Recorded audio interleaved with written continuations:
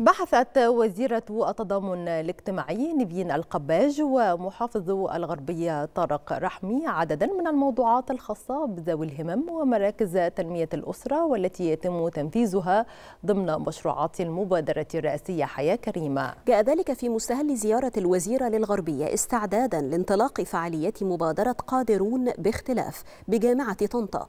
وعقب اللقاء قامت الوزيرة والمحافظ بتسليم 100 خلية نحل لعشرة مزارعين كدفعة أولى بهدف تربية نحل العسل كمورد للدخل وداعم للمزارعين.